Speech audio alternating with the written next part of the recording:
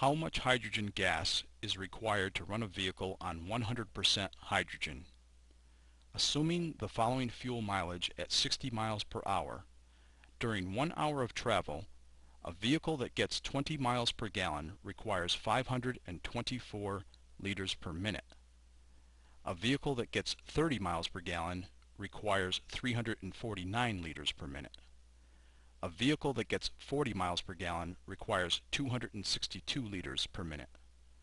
All the above figures are for uncompressed hydrogen gas.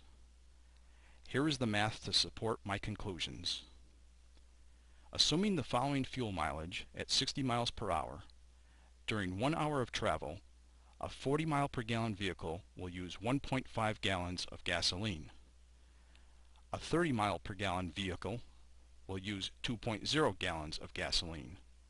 A 20 mile per gallon vehicle will use 3.0 gallons of gasoline. How many BTU will each of these vehicles use? Currently, two-thirds of the United States uses 10% ethanol and more mandates are on the way. The BTU content of ethanol is 77,000 per gallon times 0.10 which equals 7,700. The BTU content of gasoline is 125,000 per gallon times 0.90 which equals 112,500. Therefore, most of us fill our vehicles with 120,000 BTU per gallon. Continuing the example, at 60 miles per hour, a 40 mile per gallon vehicle will use 1.5 gallons times 120,200 BTU, which equals 180,300 BTU. A 30 mile per gallon vehicle will use 2.0 gallons times 120,200 BTU, which equals 240,400 BTU. A 20 mile per gallon vehicle will use 3.0 gallons times 120,000 BTU, which equals 360,600 BTU. 180,300 BTU divided by 60 minutes equals 3,005 BTU per minute. 240,400 BTU divided by 60 minutes equals 4,007 BTU per minute. 360,600 BTU divided by 60 minutes equals 6,010 BTU per minute. How much hydrogen per minute do we need to supply these BTU requirements to the engine?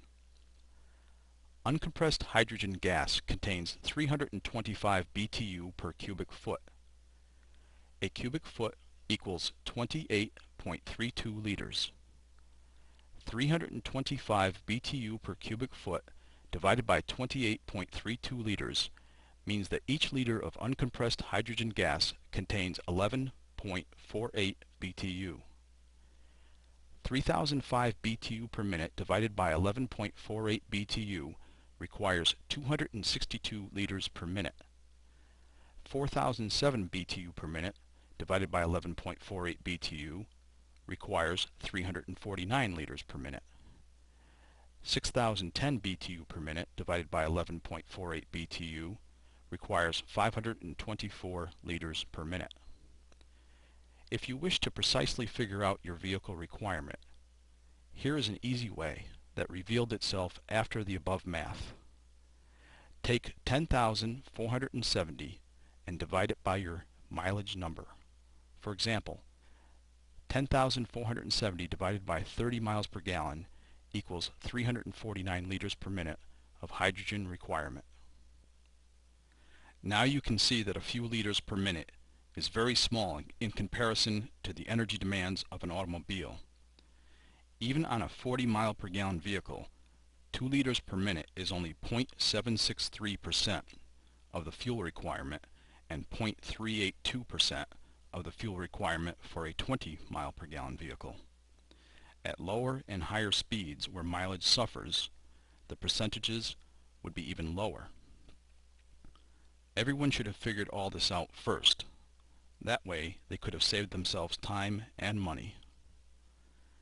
As much as anyone, I want to believe that on-demand hydrogen could be a real answer to the rising cost of fuel, which in turn causes everything to rise in price. After watching approximately 600 videos on hydrogen generators, I have noticed that most of the people are not talking about their mileage improvements. Instead, they talk about their experiments and their hydrogen output per minute.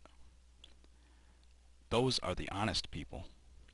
Other people are talking about mileage because they want to make money by selling you their hydrogen generators or their plans to build one. I have seen dozens of outrageous mileage improvement claims of 25 to 50 percent. Some even say they will double your mileage. I am aware of one website that shall remain nameless unless you message me where they are selling a kit for $1,400 that does not look any bigger than most of the generators on YouTube. In fact, it is smaller than some. I am dead serious when I say that I estimate the kit contains about $100 in materials. This website does not even mention liters per minute. Here is a hint. With the price of gasoline and everything else rising, it has brought out the sharks who are trying to separate you from your money.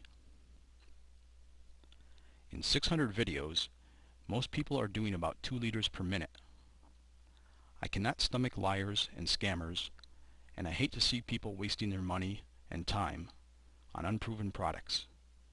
Therefore, I give you this information.